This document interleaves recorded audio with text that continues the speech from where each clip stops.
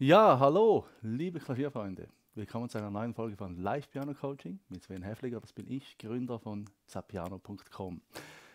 Mal schauen, wer jetzt alles hier ist. Wir haben draußen etwa 30 Grad. Mal schauen, ob sich ein paar eingefunden haben, ein paar Wahnsinnige, die jetzt wirklich live zuschauen. Wenn ich das im Chat anschaue, tja, da haben wir es. Aus überall seid ihr schon da. Super. Also, ich habe hier etwa 30 Grad in meinem Studio. Ich habe noch ein Tuch, gell? Ach, dass ihr das so seht. Muss man kurz das abstellen. So, okay. Und habe noch einen Drink und ich habe ein Thema für euch vorbereitet. Und zwar geht es um Pop-Songs. Ich habe auch ihre vielen News, was es äh, im Hintergrund alles da so gegeben hat in letzter Zeit. Ich muss mal da kurz was muten. So, jetzt ist gemutet. Okay. Es gibt ihre vielen News. Ähm, diesen Sommer war es auch ein bisschen ruhig. Das hat daran gelegen, weil es einfach irre heiß war und ich praktisch nichts gefilmt habe. Das heißt aber nicht, dass ich nicht gearbeitet habe im Hintergrund.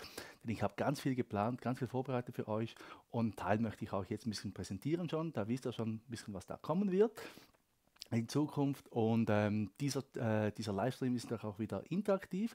Also ihr könnt mir alle Fragen rund ums Klavierspiel stellen.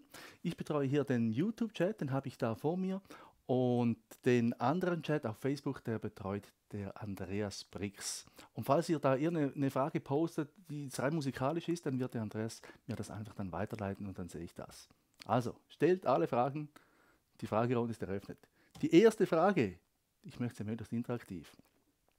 Wie würdet ihr einen Popsong lernen? Wie würdet ihr vorgehen? Weil in diesen Piano, ähm, Live-Piano-Coachings, da erzähle ich ja immer gewisse Prinzipien. Und der Vorteil ist, wenn man ein Prinzip verstanden hat, dann kann man das auch überall wieder anwenden. Also auf praktisch jedem Song. Und darum ist es so wichtig, dass, ich, dass ihr einfach Prinzipien versteht, die ihr dann immer wieder hervorkramen könnt und dann sagt, oh, das funktioniert auch, da auch, da auch. Das ist wirklich cool. Also ich habe in meinem Leben ganz viele solche Dinge gelernt, solche Prinzipien, die ich dann immer wieder hervorkramen kann und ähm, das ermöglicht mir einfach ein tieferes Verständnis fürs Klavierspielen und auch mit dem Unterrichten natürlich. Also meine erste Frage an euch. Wir haben immer eine leichte Verzögerung von 20 Sekunden. Wenn ich nicht gerade reagiere, dann äh, hat es nur mit dem zu tun, das ist eine rein technische Sache. Wie lernt man am besten ein Popstück? Mal schauen. Guten Abend, guten Abend, hallo zusammen. Bei mir ist 18 Grad und Regen. Tja, keine Ahnung, wo du bist. mir ist irre heiß hier. Bild und Sprache leider nicht synchron. Das kann passieren. Ähm, das äh, ist einfach ähm, Facebook, das ist die Technologie im Jahr 2018, die ist leider noch nicht weiter. Aber ich hoffe, es ist trotzdem verständlich hier. Ja, also ich bin froh, wenn die Kameras funktionieren und wenn das Audio funktioniert, wenn ihr mich hört. Die Videos in meinen Kursen, die sind dann wirklich synchron, die sind dann gut geschnitten. Also, Frage an euch. Wie ähm, lernt man ein Popstück. Anhören und dann die Harmonie rausfinden. Tobias, das ist schon sehr gut. Man könnte meinen, das heißt ein Schüler von mir. Piano-Club-Mitglied. Das ist schon sehr gut. Es ist alles synchron, nur zu leise. Okay, ja, muss man schauen. Eine Sekunde. Brad, can you hear me? Brad, can you hear me? Please put the audio a little bit louder. Okay, side camera. Just just drop the side camera. Doesn't doesn't matter. Okay, it's okay. So, das ist noch mein Regisseur im Hintergrund. Meine erste Live-Video mit Sven Hefliger. Ja, wunderbar. Hallo, Phoenix, willkommen. Also, dann noch eine Antwort. Ähm, erst mehrmals anhören, dann Akkorde summen, dann später die Melodie. Hey, Kerstin, das ist schon gut. Das sind halt eben meine Schüler die wissen schon ein bisschen mehr als andere in der Regel. Also, das ist alles gut, ähm, dem würde ich zustimmen. Jenny sagt, erst ganz oft anhören, dann die Tonart identifizieren. Oh, da geht es ein bisschen tiefer. Dann übe ich die Akkorde, dann die Melodie und am Schluss versuche ich beides zusammenzubringen. Jenny, du bist auch eine Schülerin von mir. Was soll ich denn da noch sagen heute? Also ist alles gut. Die meisten machen dann folgendes die ähm, hören ein Stück, vielleicht so einmal, zweimal, lassen sich da irgendwie inspirieren und sagen dann, super, jetzt brauche ich das Notenmaterial. Und das ist der Song, den ich heute mit euch ein bisschen anschauen werde. Careless Whisper, super bekannt, jedenfalls meine Generation noch. Das war Ende 80er Jahre. Der George Michael, der hat äh, dieses Stück geschrieben, als er 17 war. Hm. wirklich, das ist, ähm, würde ich sagen, ziemlich eine Meisterleistung, weil ähm, der Song, die harmonische Struktur ist total simpel aufgebaut, das ist nichts Komplexes und er hat es geschafft, mit nur vier Akkorden einen ganzen tollen Song zu spielen oder zu komponieren und danach darüber zu singen. Das werden wir miteinander anschauen. Und vorab habe ich jetzt aber noch ein paar News, die ich euch noch mitteilen möchte. Ich habe da extra so ein Mindmap gemacht. Jetzt, ähm, diese Live-Piano-Coachings, die leben natürlich von euren Inputs. Also ich bin bemüht, euch möglichst viel zu geben in diesen Live-Piano-Coachings. Das, was euch interessiert, das, was euch so richtig unter den Nägeln brennt, ihr sagt, das möchte ich jetzt wissen. Und darum teilt mir eure Ideen mit. Also ich habe immer wieder im, in meinem äh, E-Mail-Verteiler mache ich solche Umfragen und falls du jetzt keine E-Mail bekommen hast, kannst du dich doch auch beteiligen hier. Ich werde hier jetzt einen Link posten und der Andreas wird das dann auf, ähm, auf Facebook posten hier und da könnt ihr mitmachen. Also da könnt ihr mir irgendwelche Ideen da geben, wo ihr sagt, hm, das würde mich mal interessieren, vielleicht hast du da ein paar Anregungen dazu, dann tragst du hier einfach bitte ein. Und das Tolle ist auch mit diesem Tool, da könnt ihr auch ähm, abstimmen. Also wenn ihr findet eine Idee, die ist besonders gut, die würde mich auch interessieren, da könnt ihr auch so ein, Like da dazu machen und dann geht die Stimme nach oben. Und dann sehe ich auch ein bisschen, wo wirklich der Schuh drückt bei meinen Zuhörern und bei meinen Klavierfreunden. Okay, dann noch. Ich kriege immer wieder Zuschriften äh, von meinen Schülern, die ein bisschen irritiert sind. Die einen sind auf klavierlernen.ch, die anderen schon auf zapiano.com. Da brauchte ich auch überhaupt keine Gedanken zu machen. Also diejenigen, schon die längeren, die langjährigen Schüler von mir, meistens die Piano Club Mitglieder, sind noch auf klavierlernen.ch und alle neuen Schüler äh, ab Juni, die sind nur noch auf zapiano.com. Das spielt aber keine Rolle, denn im Hintergrund laufen dieselben Kurse. Also ihr braucht auch überhaupt keine Gedanken zu machen. Ihr kriegt auch auf klavierlernen.ch immer noch alle Updates. Längerfristig werde ich dann alle Schüler auf Zapiano rübernehmen. Aber dann werdet ihr orientiert werden und ihr bekommt dann noch ein neues Login. Aber im Moment läuft alles noch beim Alten. Und falls es irgendein Problem gibt mit dem Einloggen, dann schreibt einfach mir äh, um meinem Support-Team und dann werden wir euch gerne weiterhelfen. Gut, dann, wenn ihr sonst noch allgemeine Fragen habt, die jetzt nicht äh, mit diesem äh, mit dieser Live-Show irgendwie zu tun haben, dann könnt ihr diesen Link verwenden. Ich möchte da meinen YouTube-Channel noch ein bisschen ähm, noch ein bisschen besser ähm, promoten hier. Also falls ihr irgendeine Frage habt, ist eigentlich völlig egal. Gerade ums. Wirklich, mir, mir völlig egal. Ähm, dann benutzt doch bitte diesen Link hier. Ihr könnt es direkt auf meinem YouTube-Channel posten und dann werde ich die Frage da äh, beantworten. Ihr braucht dazu einen YouTube oder einen Google-Account und die Frage ist dann auch öffentlich, respektive wenn ihr einen Fake-Account ähm, habt oder irgendwie so ein Pseudonym, dann geht das natürlich auch, das ist klar. Gut.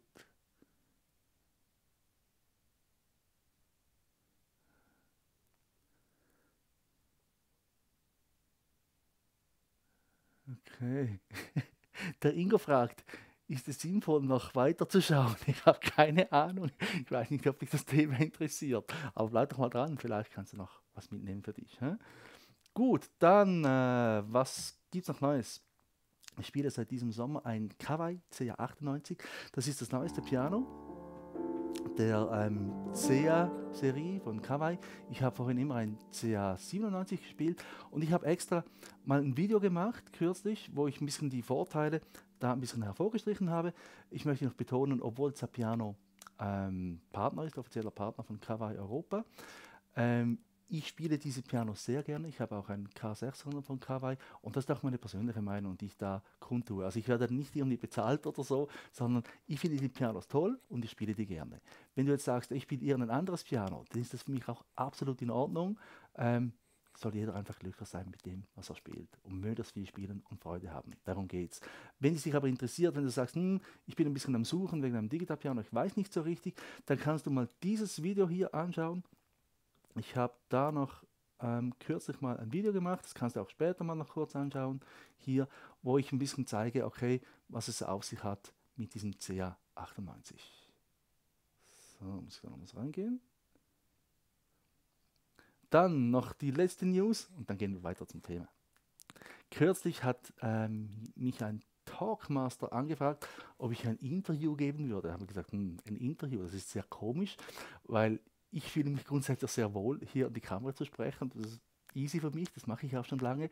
Und ein Interview zu geben, das war was Neues. Ich musste da ein bisschen überlegen und habe dann Ja gesagt. Und ich habe dieses Interview vor etwa hm, so zwei Monaten gegeben. Und das ist in Schweizerdeutsch. Und falls das noch jemand interessiert, dann kann er das hier später auch mal noch anschauen. Da gibt es nochmals einen Link von mir.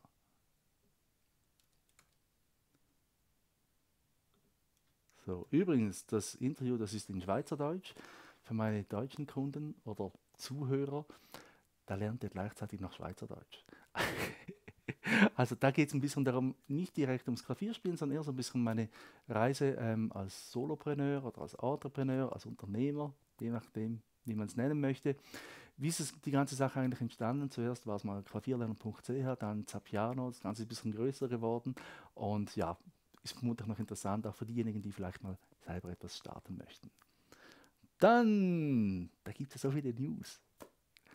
Ich hatte gestern, vorgestern ein interessantes Gespräch und zwar mit einer sehr bekannten Persönlichkeit, äh, jedenfalls so in dieser Klavier-Jazz-Szene, sage ich mal. Das ist die Lynn Ariel.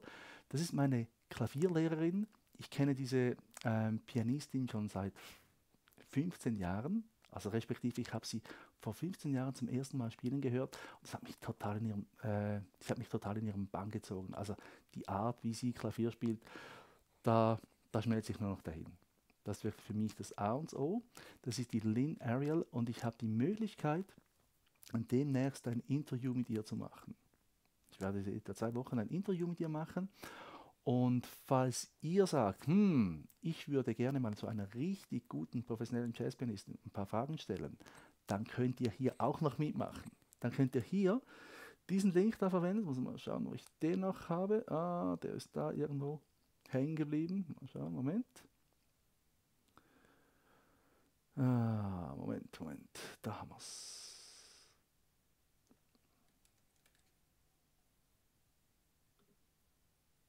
So. So viele Links habt ihr vermutlich noch nie gekriegt. also, ich werde ein Interview mit ihr machen. Da geht es darum, wie kommt sie zum Klavierspiel, was übt sie, wie übt sie, einfach solche Sachen. Und falls ihr irgendetwas habt, was euch interessieren würde, das ist eine Profi-Pianistin, dann könnt ihr hier auf diese Umfrage klicken und da auch, auch eure Fragen da platzieren. Ich werde da ein paar Fragen dann auspicken und dann ein Interview machen mit ihr. Mal schauen, 10, 20 Minuten, ich weiß noch nicht. Und der Clou ist jetzt noch, der Clou kommt noch. Sie wird mit ihrem neuen Jazz-Trio in Bern sein, zu Gast im Marians Jazz Room. Das wird sein, ich glaube, in der letzten Septemberwoche. Und falls ihr die Möglichkeit habt, da mal vorbeizuschauen, sie wird die ganze Woche da spielen, glaube Montag bis Freitag oder Dienstag bis Samstag, ich weiß nicht ganz genau. Ähm, geht mal drauf, Marians Jazz Room .ch oder .com, weiß jetzt auch nicht mehr, aber können Sie mal googeln. Das ist ein super toller Jazzclub in Bern und ich habe sie ja auch mal spielen gehört, das ist schon ein bisschen länger zurück und ich freue mich irre fest, dass sie da wieder spielen wird. Okay, das war's jetzt. Jetzt wird aber gespielt.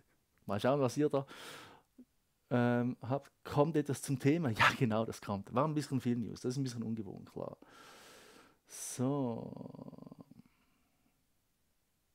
Ingo, das war äh, deine Frage bezogen auf Anfang. Bin totaler Anfänger und lerne gerade die Unabhängigkeit der Hände. Soll ich dranbleiben?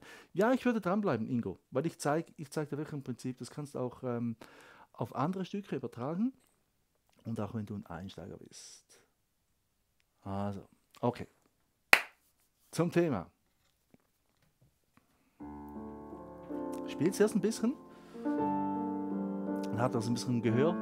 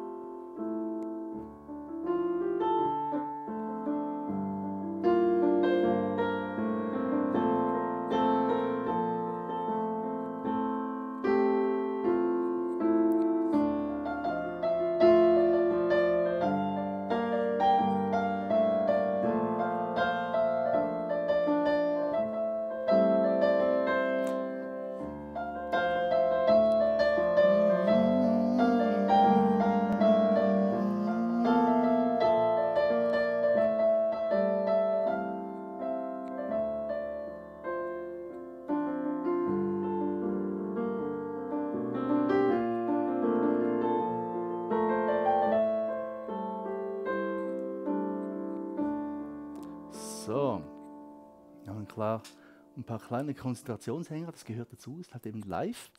Aber ich denke, das Stück ist bekannt. Ich habe ein bisschen gesehen, was ich mache. Und das Stück ist zum einen sehr einfach und zum anderen ist schwierig. Also, jetzt, ähm, falls jemand das Notenmaterial haben sollte, dann sieht das irgendwie so aus. Sieht relativ wild aus. Und erstes Prinzip, Popmusik ist keine geschriebene Musik. Das wird immer wieder total vermischt. Ich habe keine Ahnung warum. Da gibt es auch so Bücher, wo man sagt, äh, Klassik und Popsongs gleichzeitig und im Grunde genommen hat es nur Noten drin da. Und ihr müsst euch Folgendes vorstellen. Ein Popsong ist nie, ich glaube wirklich gar nie, so entstanden, dass man zuerst Noten aufgeschrieben hat und dann hat es jemand nachgespielt. Im Gegensatz zum klassischen Bereich, da haben wir ja irre viel Notenmaterial von Komponisten der letzten 300 Jahre. Wir haben da auch keine Aufnahmen von den meisten Werken und da haben wir ja nur die Noten.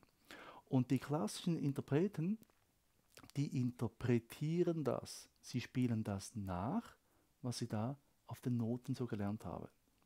Das ist irre virtuos, da geht es ganz fest ums Detail und es geht auch darum, möglichst nahe an dieses Original ranzukommen. Im Gegensatz zu der ganzen Popgeschichte, da wird meistens so eine Gitarre genommen, ein Piano und dann fällt man ein bisschen rum nach Melodien. Man sucht Melodien, man hat vielleicht eine Idee, man lässt sich inspirieren von einem Text, einem Gedicht und schaut da, wie man das irgendwie zusammenbringt, dass man am Schluss sagt, hm, das ist jetzt ein Song. Dann wird dieser Song in der Regel irgendwo aufgenommen. Also ein Interpret, der macht eine CD, oder früher war es eine CD und eine Schallplatte. Also die, der Song wird aufgenommen und erst später, wenn das Stück einigermaßen erfolgreich ist, oder der Song, dann werden Noten angefertigt. Aber die Noten sind nie das Original, nie und nimmer. Und darum würde ich nicht empfehlen, solche Sachen nur ab Noten zu lernen. Zum Teil ist wichtig, wenn ich da mal was nachschauen möchte, dann habe ich auch die Noten vor mir, das ist gut, falls ich was nicht raushöre oder falls ich was nicht verstehe. Aber im Grunde genommen gehe ich nicht dahin und lerne das Note für Note. Weil wenn ich das mache, dann würde ich mich anhören wie ein Roboter. Ich habe schon viele klassische Pianisten gehört, die waren zwar ihre Virtuos, die hatten eine super solide Technik, waren super gute Blattleser, aber waren nicht in der Lage, das wirklich zum Klingen zu bringen, wo man sagt, hm, das hört sich jetzt cool an. Es hat sich zwar immer richtig angehört, aber nicht wirklich cool. Und das hat vor allem mit Rhythmik zu tun. Da kommen wir gleich dazu. Ich schaue euch mal kurz noch den Chat da an. Mal schauen, ich hoffe, sind noch alle Kameras aktiv. Mal schauen, was da so läuft.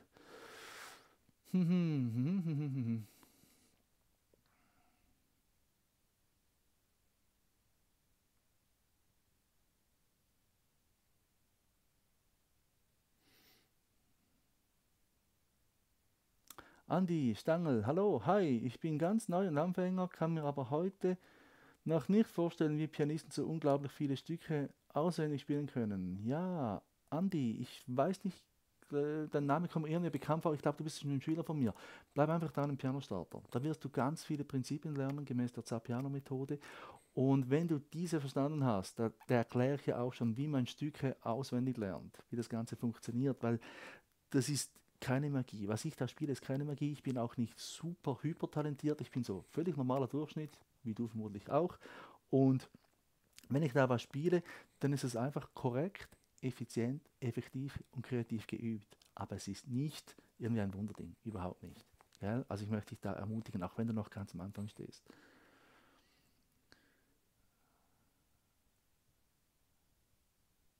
Hallo. Hallo Michael. Ja, gut. So, ähm, habt ihr Fragen bis dahin? Weißt, war nichts. Das ist auch so ein bisschen Hallo und so. Das ist alles gut, okay.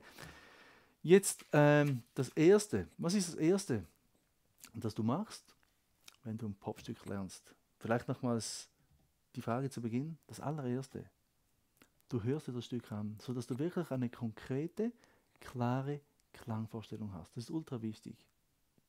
Am besten hörst du das Stück mehrmals an, passiv, das heißt immer so auf dem Kopfhörer, wenn du so ein bisschen unterwegs bist, wenn du joggen gehst oder so, und dann auch wirklich aktiv. Das heißt, wenn du aktiv hinhörst, dann hörst du hin, hm, okay, wie viele Takte hat das Stück? Was habe ich für eine Taktart drin? Hm, gibt es verschiedene Abschnitte in diesem Stück? Wo setzt der Sänger ein? Das ist aktives Hören. Das ist wirklich hinhören und gleichzeitig mit dem Verstand in Verbindung bringen. Wirklich auch das Verstehen, das Hören mit dem Verstehen zusammenbringen und dann hast du eine konkrete Klangvorstellung. Je mehr dass du das machst, desto besser natürlich. Bis du sagst, ich habe dieses Stück jetzt wirklich drin, äh, das könnte ich jetzt reproduzieren, rein von der Klangvorstellung her. Und wenn das, wenn du das hast, der zweite Schritt, ich muss mal kurz da, ist ihre heiß hier. Also ihr habt so gut, da hat jemand 18 Grad. also, wenn das gut geht, dann schauen wir die Harmonien an. Und zwar nur die Harmonien alleine. In der Zappiano-Methode, da habe ich immer wieder einzelne Teilbereiche, die ich anschaue, diese so lange übe und verinnerliche, bis ich sie wirklich drin habe. Also wirklich verinnerlicht habe. Denn wenn ich sie verinnerlicht habe, dann ist mein Verstand nicht mehr aktiv damit beschäftigt. Dann kann ich es locker hervorkramen. Das bedeutet jetzt nun, wenn ich diese Detailinformation habe, hm, da, da, öh, öh, bis ich das alles drin habe, keine gute Idee. Aber wenn ich es so habe, zum Beispiel einen Schreiber da hervorkramen, wenn ich dieses Stück anschaue mit den Harmonien, dann habe ich nur das hier.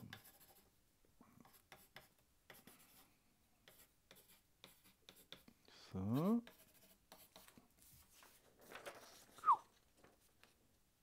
Das sind die Harmonien von Careless Whisper. Ich hoffe, das ist sichtbar. Ich habe hier nur einen Bleistift da. Also ich sage es noch kurz, das ist ein D-Moll, dann ein G-Moll, dann ein B-Flat Major 7 und dann ein A-Moll oder ein A-Moll 7. Wenn du jetzt noch ganz am Anfang stehst, klar, diese Akkorde sind noch vielleicht ein bisschen weiter weg, das befindet sich in der Tonart D-Moll, bleibt trotzdem noch dran. Es funktioniert auch bei einfachen Stücken, in C-Dur oder so. Im Piano Starter habe ich jene habe ich ein paar Stücke drin, ein paar Prinzipien und im Practice Kit, da habe ich dann ganz viele Stücke drin in diesem Spielniveau, wo ich solche Sachen dann wirklich sehr vereinfacht erkläre. Okay, dann diese Harmonien, ähm, wenn diese äh, dieselben sind wie in der Originaltonart, da haben wir jetzt Glück bei Careless Whisper, darum nehme ich dieses Beispiel natürlich auch, dann habe ich hier Demo schon drin und ich kann eigentlich schon mit dieser Originalaufnahme mitspielen. Das kann ich jetzt leider nicht demonstrieren, sonst würde YouTube und Facebook mich sofort rauswerfen. Da würde ich Copyrights verletzen. Aber du kannst ähm, Careless Whisper kannst du suchen, irgendwo im Internet, ich sage jetzt nicht wo, völlig egal. Kannst du das abspielen und dann drückst du diese Akkorde zusammen. Ich zeige sie dir jetzt super basic, wirklich die einfachste Art. Ich wäre zum Beispiel mit der linken Hand, nur in der Grundstellung, habe ich hier ein D-Moll, dann habe ich hier einen G-Moll, dann habe ich hier einen B-Flat Major 7. Ja, den könnte ich jetzt so drücken. Ja, ein bisschen schwieriger hier, vielleicht ein bisschen ungeübt auch. Hier hat da so ein, eine Dissonanz drin, aber die ist gewollt hier. Und dann noch ein A-Moll. Und wenn dann dieses Thema kommt vom Saxophon gespielt, dann habe ich das hier. Aber das ist ein bisschen eng. Das ist G-Moll. Äh, da gibt es noch einen kleinen Übergang, zeige ich danach noch. Und dann habe ich. Uh, ups, ja, da komme ich ein bisschen in die Quere. Ba, du, da, da, ba, bu. Ba, da, da, du, da, di, da, du, da, ba, da, du, da, hu, da, da. Oh, ein bisschen hoch. Da, da, da, da, da, da, da. Ba, ba, bu, ba, bu. Und das Tolle ist jetzt, du kannst jetzt das einfach mitspielen, wenn der Sänger singt, ist immer dasselbe. Also ich habe immer wieder D-Moll, G-Moll, ähm, B-Flat Major 7 und A-Moll. Super einfach. Es gibt noch einen kleinen Trick hier, wenn ich da so mitzähle. Ich habe da immer ähm, 1, 2, 3, 4. Auf dem vierten Schlag hier wird da noch ein A gespielt. Das ist wie so ein kleiner Übergang im Bass. Also das hier ist die Bassnote. Aber das sieht man da. Also ich habe hier 1, 2, 3, 4 und dann habe ich hier noch den G-Moll hier auf dem vierten Schlag nach dem A und dann geht es in den nächsten Akkord. Das ist die einfachste Version. die du machen kannst. Und wenn du da schon mitspielst und du dir sagst, vermutlich, ja, ist ein bisschen langweilig, dann, ähm, wenn du noch ein Einsteiger bist, dann ist es nur dann langweilig, wenn du wirklich locker mitspielen kannst. Weil auch wenn du wenig spielst auf dem Piano und du spielst korrekt mit einer Aufnahme mit, dann lernst du schon ganz viel übers Gehör. Super wichtig. Wenn das gut geht, dann kannst du dich dann später mit äh, beiden Händen da ein bisschen austoben. Da gehe ich jetzt nicht ins Detail hin, aber ich würde meistens da empfehlen, dass man da sich mit den Akkordumkehrungen beschäftigt und dann kommt man auf solche Akkorde. Dann hätte ich das.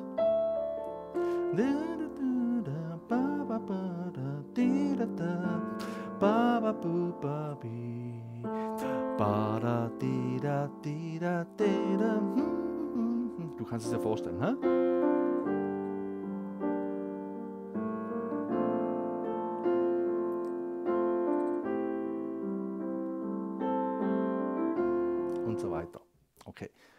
Der Sänger dazu singt, immer dasselbe. Ist immer diese Akkordfolge. Und was ich jetzt gemacht habe, ich habe schon ein bisschen Rhythmus hinzugetan. Ähm, das genüge ich ja bei einem Popstück. Immer wenn ich mich im harmonischen Bereich bewege, dann brauche ich nicht solche Sachen zu spielen.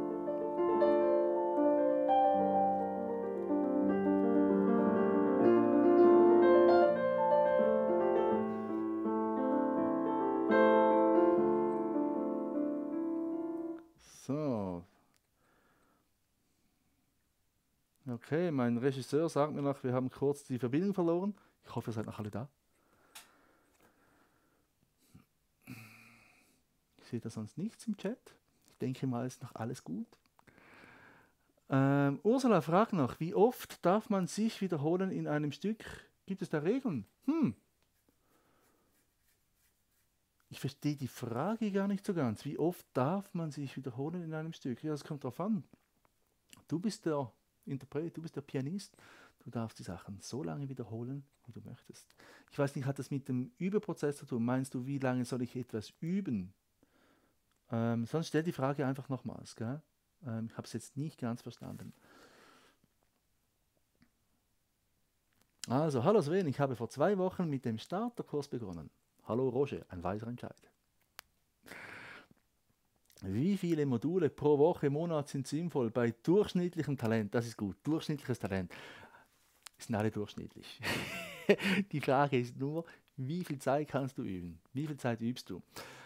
Ähm, das ist schwer zu beantworten. Ich habe ja nur ähm, durchschnittliche Erfahrungswerte und meine Erfahrungswerte sind, dass wenn jemand wirklich mit Null begonnen hat, wirklich noch keine Vorkenntnisse mitgebracht hat, kann er den Pianostarter auch schon buchen, weil ich erkläre wirklich alles wirklich so Schritt für Schritt dann braucht er etwa zwölf Monate, vielleicht sogar noch ein bisschen mehr, um da überhaupt durchzugehen und diese Beispiele so zu verinnerlichen, wie ich es da jeweils in den Videos demonstriere.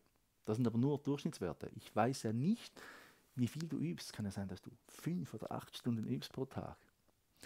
Du kannst einfach davon ausgehen, wenn das, was du spielst, wenn das langsam so easy wird, wenn das so ein bisschen sich so anhört wie bei mir in den Videos, dann gehst du weiter. Das ist das Grundprinzip. Und sonst, wenn du unsicher bist, dann kommst du in die geschützte Facebook-Gruppe. Ich habe ja eine Piano-Starter-Facebook-Gruppe und dann lädst du mal ein Video von dir hoch und dann kannst du auch ein Feedback von mir erwarten, weil ich kommentiere ja da die Videos auch laufend von euch. So, wir hören alle andächtig zu, das ist gut. andächtig. Alles gut hier. Wenn ich ein Stück ohne Notenblatt versuche einzustudieren, um Himmels Willen, wie finde ich die richtigen Akkorde? Ja, genau. Brigitte, Biggie, die Akkorde, die musst du haben. Wenn du die Akkorde nicht hast, dann kannst du dich an nichts festhalten, das ist klar. Und wenn du jetzt merkst, dass ein Stück, das du gerne spielen würdest, du hörst die Akkorde aber nicht heraus, findest im Internet auch nichts Gescheites, dann kaufst du dir ähm, halt ein Notenblatt, ein professionelles Notenblatt, so wie das hier, und da wirst du in der Regel, wenn es gut notiert ist, wirst du da die Harmonien hier oben auch haben. Also die brauchst du natürlich. Das ist das Fundament. Ursula, äh, nein, ich meine, wie oft kann man gleiche Takte wiederholen? Tja, Ursula, wenn du jetzt gerade am Telefon mit mir wärst, würde ich dich vermutlich besser verstehen. Wie oft kann man gleiche Takte wiederholen? Also bei diesem Stück, bei Careless Whisper, ist dieses Viererpaket, das hier, das wird immer wiederholt. Das ganze Stück hindurch. Wenn er singt, wenn das Saxophon wieder kommt, wenn das Outro kommt, ist immer nur das hier. Okay? Ich hoffe, ich habe so die Frage beantwortet und sonst schreibst du halt nochmals. Hallo Sven, welches linke Handpattern kannst du für aktu aktuelle Popsongs im spanischen Stil empfehlen? Oh, La Chitura Havana. Du, da müsste ich jetzt äh, eine Aufnahme hören. Weiß ich jetzt gar nicht. Das kommt, äh, uh, das kommt sehr darauf an. Da, da müsste ich was hören. Ähm, schick mir doch einen Link. Du kannst äh, das Kontaktformular nehmen ähm, und dann schick mir einen Link zu einem, zu einem solchen Song. Ja? Höre ich mir das an. Und dann kann ich es vielleicht mal einfließen lassen in dem Live-Piano-Coaching.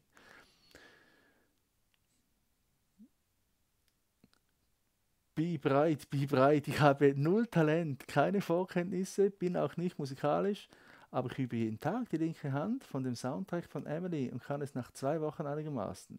Es ist ein langer Weg. Gut, also wenn du noch ganz am Anfang stehst, dann würde ich noch ein bisschen warten mit dem Amelie.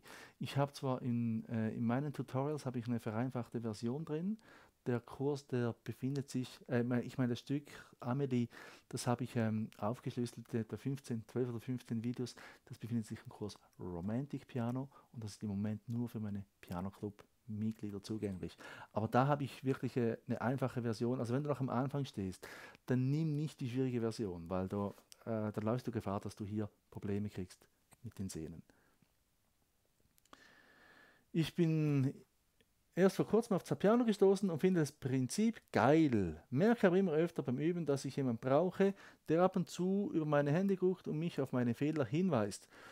Ja, ähm, ich weiß nicht, hast du, hast du einen Kurs, hast du ein Abo? Also du kannst jederzeit ein Video von dir hochladen in der Facebook-Gruppe und da werde ich auch was kommentieren. Ich glaube, diese Art von Rückmeldung, wo die Leute sagen, ich, sie haben Angst davor, dass sie das falsch machen. Ich glaube, die ist nicht ganz begründet, weil ich erkläre alles so detailliert und so super einfach äh, im Piano-Starter-Kurs. Wenn jemand das nicht versteht, habe ich bis jetzt noch nie gehabt. das haben schon alle irgendwie verstanden. Und Akkorde herauszufinden, benutze ich Riffstation. Das Tool ist zwar für Gitarre, aber es zeigt die Akkorde an. Ja, genau. Da gibt es ja irre viele äh, Materialien im Internet ich denke, die Harmonien, die findet man immer irgendwo zu einem Song, wenn man da ein bisschen sucht. So, jetzt weiter. Also, jetzt angenommen, du hast dieses Stück, du hast diese Harmonien da darunter. Was ist der nächste Schritt, den du tust? Da würde ich mal gerne ein paar ähm, Antworten sehen von euch im Chat. Was ist der nächste Schritt? Also jetzt angenommen, ich kann das. Ich kann das so spielen, ich bin da schön mit der Pulsation verbunden.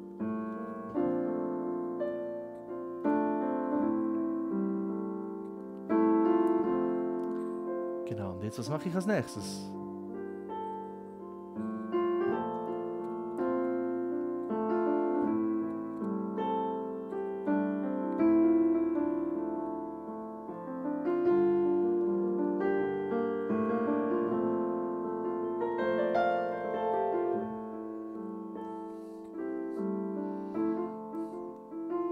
Was mache ich jetzt als nächstes? die Probleme habe ich schon hinter mir in der Hand, war in der ersten Woche. ist gut. Ja, pass einfach auf. Also wenn es irgendwo zieht in den Händen, mach unbedingt eine Pause. Weil äh, wenn du da darüber gehst und mit Schmerzen spielst, dann läufst du Gefahr, dass du dir eine Sehnenscheidenentzündung holst. Und die dauert ein bisschen länger und ist ein bisschen schmerzhafter. Also geh nie über deine physischen Grenzen hinaus beim Klavierspielen. Freunde, also, wenn man die Harmonien drin hat. Was kommt als nächstes? Prost.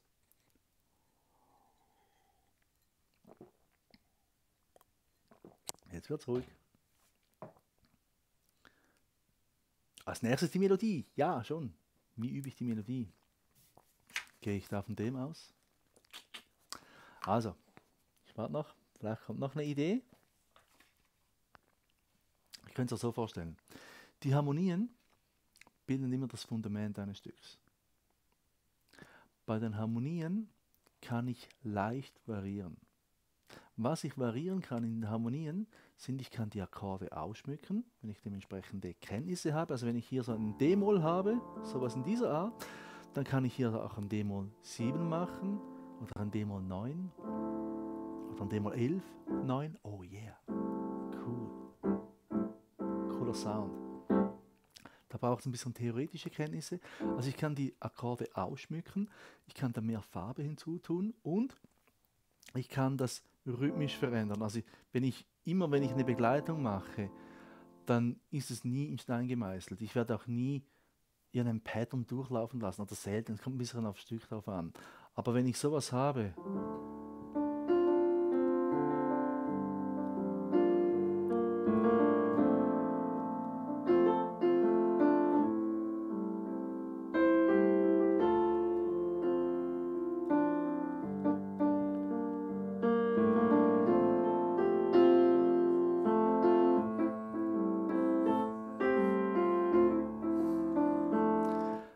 habe ich jetzt nicht irgendwie mega geübt vorhin und ein bestimmtes Pattern da gibt, sondern es wirklich so im Fluss. Ich habe ich hab dieses, ähm, diese Aufnahme, diese Originalaufnahme im Gehör drin und spiele dann so mit, wie ich finde, das hört sich cool und groovy an. Das braucht natürlich ein bisschen Übung, das ist klar. Zunächst lernt man da äh, sicher bestimmte Patterns, sowas in dieser Art.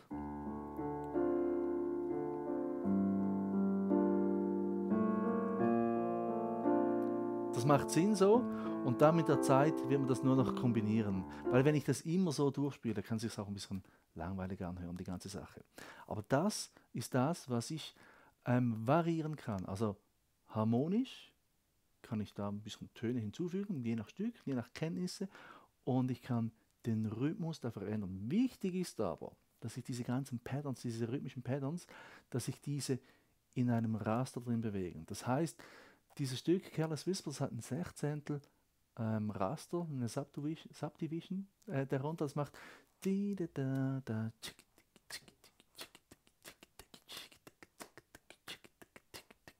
und jeder Schlag, den ich da so spiele in dieser Begleitung, der muss da irgendwie drin sein.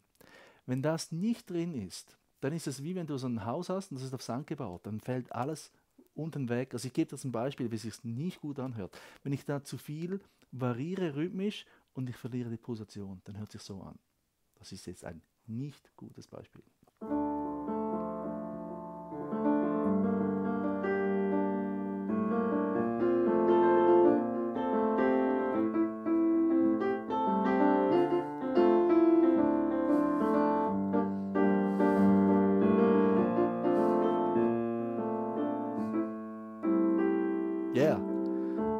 Bisschen schwierig, das zu spielen. also das ist einfach gemerkt, das hört sich einfach nach gar nichts an. Wichtig ist, spiel nur immer nur so viel, wie du kannst. Spiel nicht etwas, das du nicht kannst. Also vor allem, wenn du vorspielst. Ist klar. Ähm, wenn du übst, dann schau, dass du da an die Grenze gehst von deinen Möglichkeiten, wo du gerade so sagst, hm, das bin ich gefordert, aber ich bleibe immer noch drin im Fluss in dieser Position. Dann hast du den größten Lerneffekt. Und jetzt das nächste, was jetzt hinzukommt, jetzt gehe ich mal kurz da mal reinschauen. Hm. Namen, mitsingen, summen, yeah, cool. Das kommt, dazu kommt jetzt. Melodie und später improvisieren, ja, das sind alles meine Schüler. Das Stück anhören und gleichzeitig versuchen, mit Akkorde zu begleiten, ja, das würde ich machen, ähm, Ursula.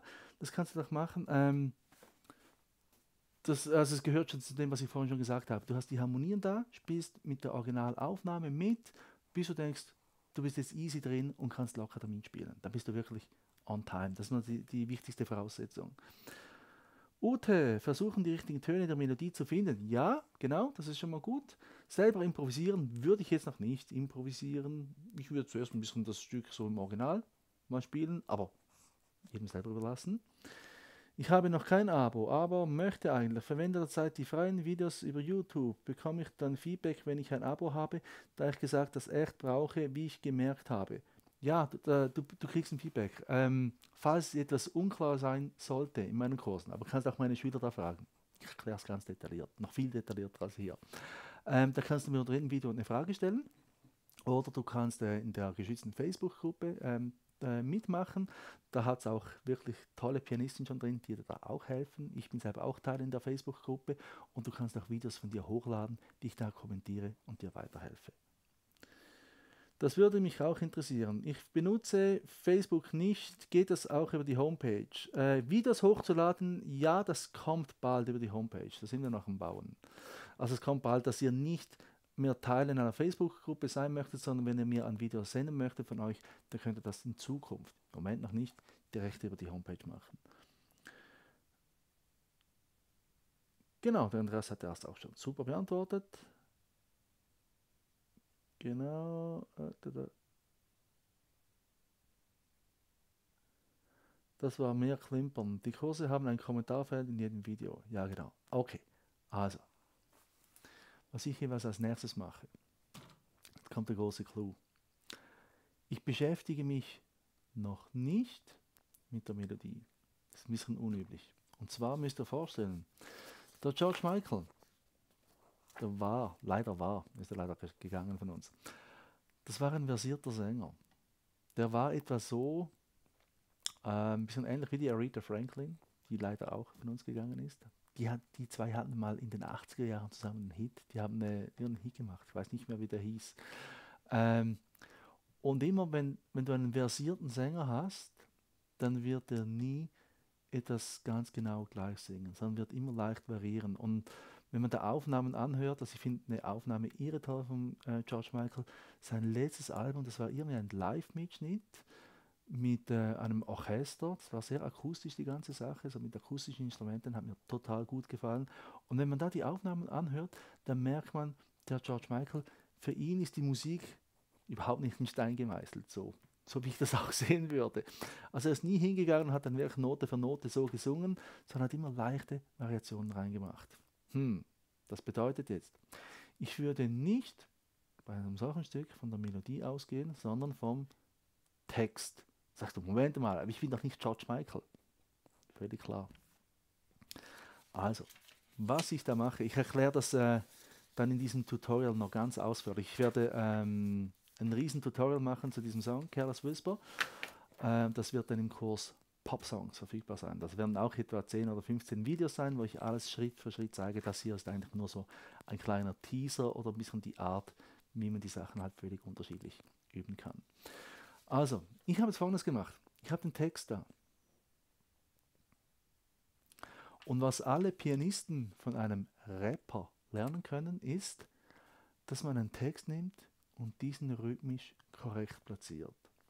Weil diese Art von Musik ist nicht unbedingt melodisch sehr spannend. Also wenn ich das hier so habe, ähm, dann bewegt sich ja alles irgendwie, irgendwie in dieser Tonleiter, in diesen fünf Tönen. Das ist nicht etwas Virtuoses, wo ich da, mich da bewege, wo ich da technisch irgendwie Meisterleistungen vollbringe, aber rhythmisch ist die Sache tricky. Wenn ich das so habe, nur den ersten Dings, dann habe ich das hier.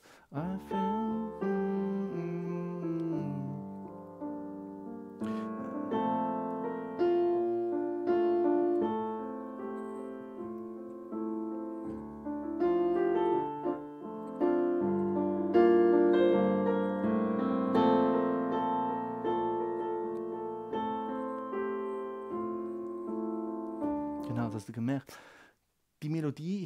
Stück im Gehör hast, dann hast du es sofort wieder erkannt. Das war nicht irgendwie eine Interpretation, wo du sagst, oh, das könnte jetzt das Stück gewesen sein, sondern das ist wirklich die Originalaufnahme, die ich da jetzt genommen habe in dem Moment.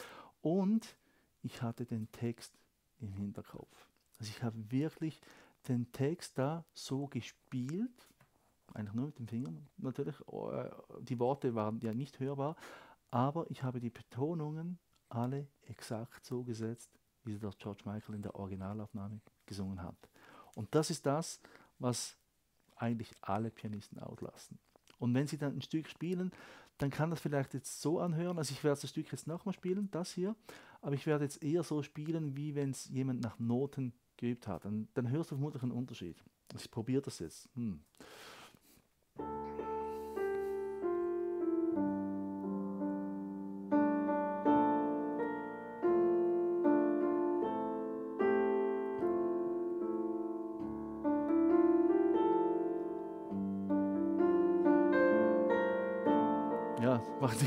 Beispiel.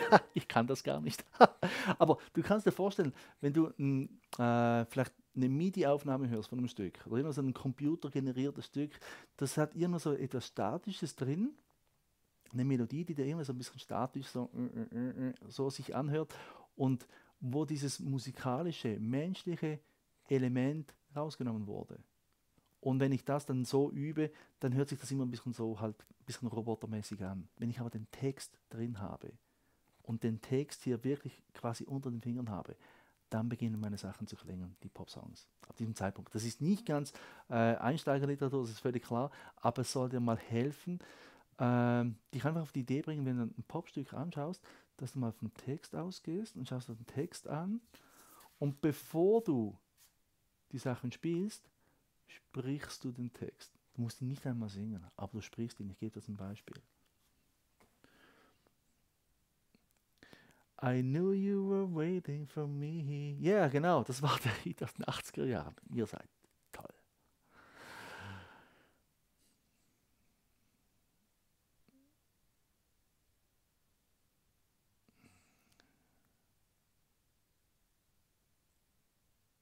So, okay, okay. Hört sich abgehackt an. Ja, genau, das ich vorhin gespielt habe. Ähm, da muss man den Text noch dazu lernen. Text ging ja noch, Fremdsprachen, ja klar. Man sollte ein bisschen der englischen Sprache mächtig sein, wenn man sowas einstudieren möchte, das ist völlig klar. Also wenn ich jetzt ein spanisches Stück da oder ein italienisches ähm, spielen möchte, hört sich nicht sonderlich gut an, weil ich diese Sprache nicht im Gehör habe und da vermutlich die Sachen auch falsch betonen würde. Aber wenn ich das so habe, jetzt ein Beispiel. Also ich werde jetzt zuerst nochmals diese ähm, vier Akkorde so spielen, dieses Viererpaket, dann habe ich das hier. Und jetzt werde ich danach den Text ähm, sagen. Oh, jetzt bin ich rausgefallen. Oh.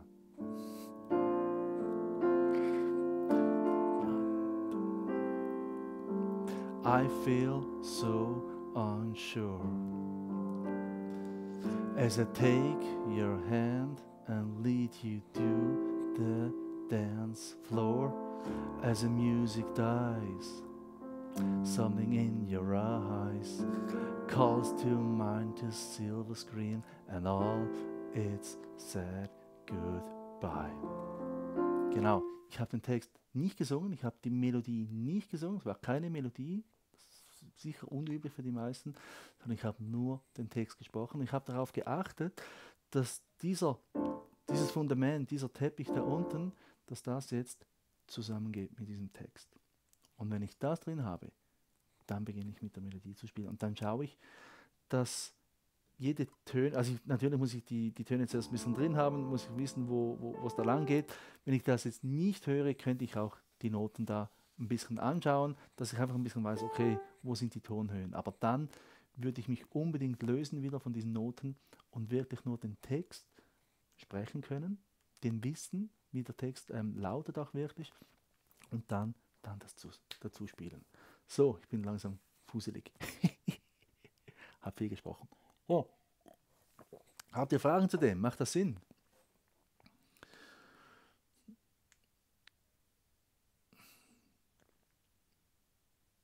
Also, wenn ihr jetzt noch Fragen habt, könnt ihr fragen. Das war eigentlich so mein super Beitrag.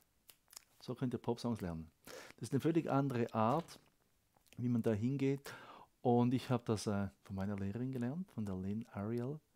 Ähm, Keith Jarrett zum Beispiel, Ultrapianist, der sagt von sich auch, dass er allen, äh, alle Texte kennt von allen Songs, die er spielt. Also wenn das irgendwie American Standards sind, wo er vielfach mit seinem Trio spielt er nur Standards, ähm, dann kennt er die Texte. Und darum haben seine Melodien einen ganz anderen Ausdruck, weil alles Mechanische ist einfach weg und das wirklich, das geht so direkt ins Herz. Und wenn ich, seit ich das kann, habe ich gemerkt, dass mein Spiel, wenn ich sowas spiele, auch einen viel höheren Ausdruck hat. Und wenn man das so schaut auf den Tasten, dann ist es wie nie ersichtlich, weil die Töne sind ja eigentlich dieselben, die ich spiele, aber so diese ganzen Nuancen, diese rhythmischen Nuancen, die sind da drin in den Händen und die Wirkung ist einfach eine völlig andere. So, ich spiele noch ein bisschen. Hm? Hm?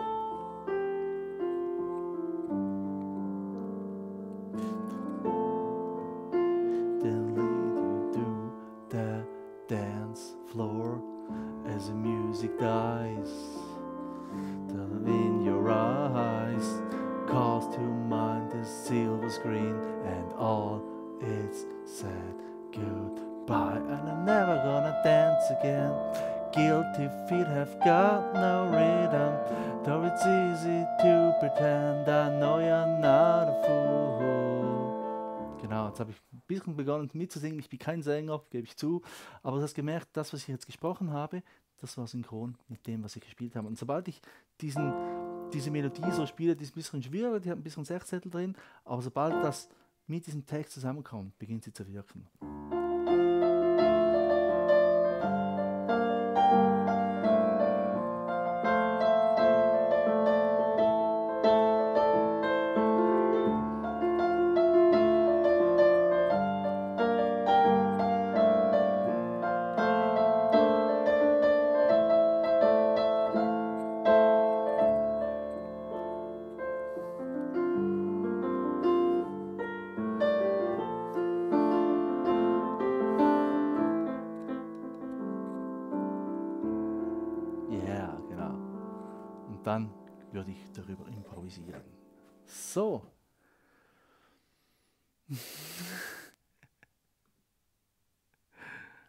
Super Inspiration, danke. Einen schönen Abend. Ja, da verabschieden sich schon alle. Ist auch heiß. Ich auch gleich.